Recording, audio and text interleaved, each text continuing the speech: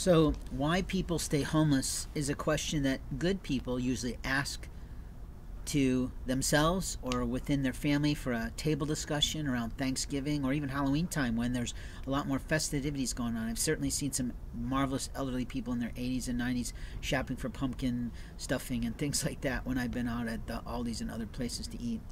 But homelessness is not always due to a vice or codependency.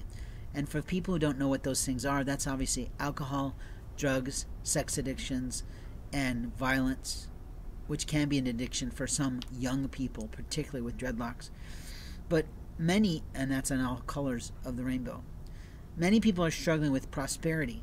And most people don't have enough money in the bank to, for emergencies or retirement, based on that Career Builder study of 78% of Americans are living paycheck to paycheck. So they could be in homelessness from loss of income or business revenue or retirement funds being not there. And that can result in homelessness.